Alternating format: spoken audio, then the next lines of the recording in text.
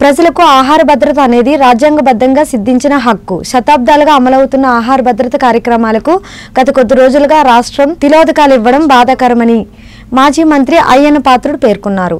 నిత్యావసర వస్తువుల ధరలపై నియంత్రణ కొరవడింది. రేషన్ షాపుల్లో ఇచ్చే సరుకుల్లో నాణ్యత అంతంత మాత్రంగానే ఉంటుంది.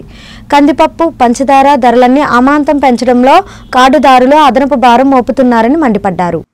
మండల వ్యాప్తంగా వందలాది రేషన్ కార్డులు రద్దయ్యాయి. కరోనా సమయంలో ప్రకటించిన పీఎంజీకేవై ఈ పథకం కింద అందించాల్సిన ఉచిత బియ్యం పథకాన్ని గత నాలుగు నెలలుగా నిలిపివేశారు. ఇప్పుడు అమలు చేస్తున్నప్పటికీ కొందరికి మాత్రమే ఇస్తున్నారని ఈ నిర్ణయం ఆహార భద్రత చట్టాన్ని ఉల్లంఘించడమే అని మాజీ మంత్రి చింతకాయల అయ్యన్న పాత్రుడు అన్నారు. రేషన్ వ్యవస్థపై రాష్ట్ర ప్రభుత్వం అనుసరిస్తున్న విధానంపై అయ్యన్న పాత్రుడు ధర్నా స్థానిక ఆర్డీఓ ఆఫీసులో వినతి పత్రం అందజేశారు.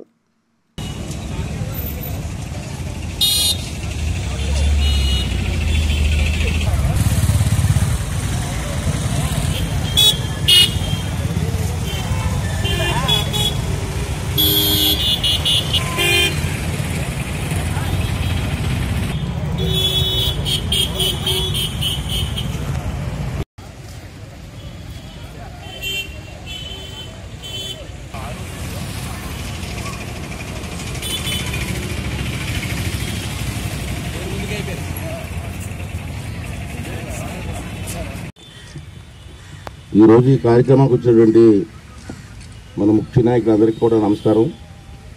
ఇవాళ రాష్ట్ర వ్యాప్తంగా అన్ని నియోజకవర్గాల్లో కూడా మన పార్టీ తరఫున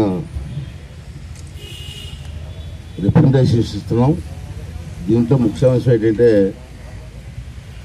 కేంద్ర ప్రభుత్వం ఇస్తున్నటువంటి నిధులు కానీ రాష్ట్ర ప్రభుత్వం అమ- మాట ఇచ్చినటువంటి కార్యక్రమాలు కానీ ఎక్కడ అమలు చేయట్లేదు.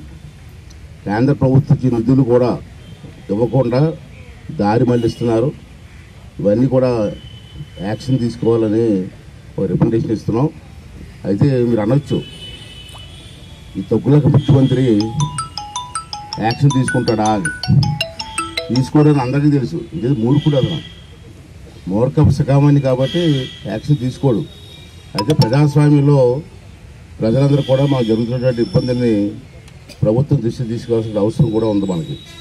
అంచేత కొన్ని పాయింట్లు ముఖ్యమైన పాయింట్లు ఎలా రికమెండేషన్ ఇస్తున్నాం దాని మీద వేళ మేము అందరూ సంతకాలు పెట్టి ఇక్కడ అన్న ఆర్డీఓకి ఇవ్వాలని చెప్పి ఈరోజు కార్యక్రమం పెట్టుకున్నాం.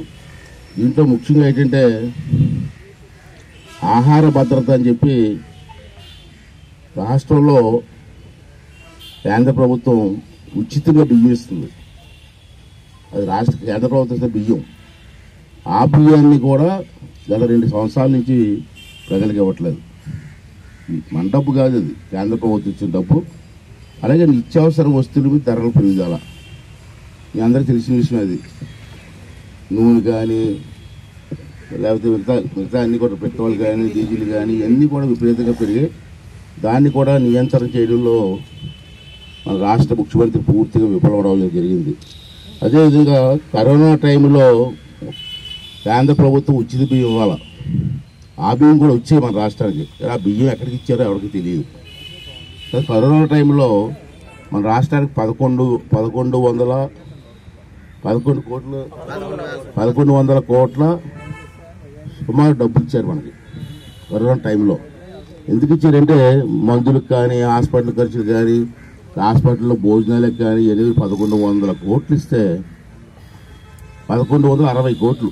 లక్షల కార్డులు తీసి ఈవేళ ఏమో ఎనిమిది లక్షల కార్డులు ఇస్తున్నారు అంటే మనం తీసి మనం ఇచ్చిన కార్డులు తీసి మళ్ళీ దాంట్లో ఎనిమిది లక్షలు ఇస్తున్నారు. పంతొమ్మిది లక్షలు కూడా ఇవ్వలే మిగతా పదకొండు లక్షలు ఎగిరిపోయాము వివిధ కారణాల వల్ల. ఈ విధంగా ప్రజల్ని మోసం చేయడం ఆ రోజు ఏమన్నాడు నేను ముఖ్యమంత్రి అయితే నలభై ఐదు సంవత్సరాలకే రేషన్ ఇచ్చేస్తాడు. కా- పెన్షన్ పెన్షన్ ఇచ్చేస్తాడు. పెన్షన్ కూడా ఇవ్వలే. రేషన్ పెన్షన్ పెన్షన్ చూస్తే ఇవాళ పెన్షన్లు ఇస్తున్నారు. పంతొమ్మిది లక్షలు తీసేసి ఎనిమిది లక్షలు ఇస్తున్నారు. ఈ విధంగా అన్ని రకాలుగా కూడా మరి ప్రజల్ని మోసం చేసుకుంటూ వస్తున్నటువంటి మరి ముఖ్యమంత్రికి మరి బుద్ధి చెప్పాలని అలాగే ఈ రికమెండేషన్ ద్వారా వెంటనే యాక్షన్ తీసుకోవాలని చెప్పి కూడా ఈ కార్య పరిగెట్టడంలో మనం మనం స్టార్ట్ చేసిన నాలుగు సంవత్సరాల క్రితం స్టార్ట్ చేసాం మనం మన ప్రభుత్వం ఉన్నప్పుడు ఎయిటీ పర్సెంట్ ఇల్లు మన టైంలో పూర్తి చేసాం. ఈ వచ్చి మూడు సంవత్సరాల్లో ఒక్క ఇల్లు పూర్తి చేయలేదు ఒక్కరికి ఇవ్వలే. పైగా డిపాజిట్లు కట్టారు యాభై వేలు కట్టారు లక్ష రూపాయలు కట్టారు లక్ష కొంతమంది యాభై వేలు కట్టారు. అవి కూడా ఇక్కడ రాష్ట్ర వ్యాప్తంగా చూస్తే ఆ ఏడు లక్షల ఇల్లు. పేపర్లో ఈనాడు పేపర్లో ఆ జ్యోతి పేపర్లు వేసి ఇల్లు ఫోటోలు వేశారు.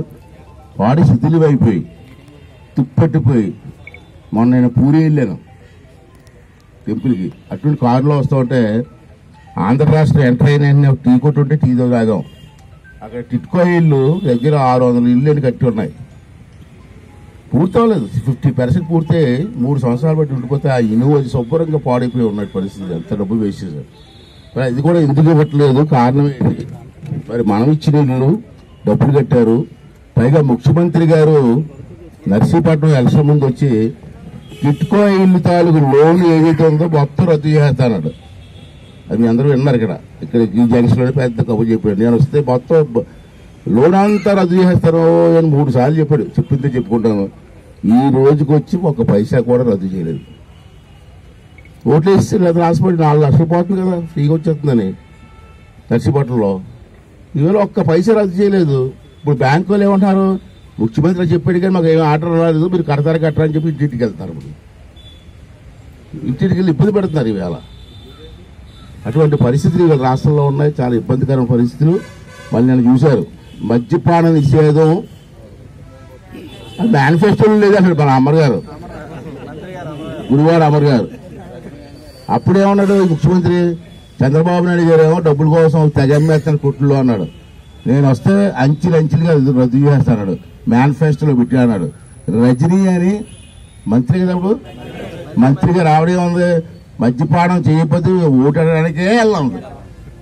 ఇవాళ అమలు అసలు మద్యపానం నిషేధం. మా మేనిఫెస్టోలో లేదు అంటే మంత్రులు కూడా నోటికి ఇష్టం వచ్చినట్టు పాలసీలు లేకుండా అబద్ధాలు ఆడే పరిస్థితి మనకు ఉంది.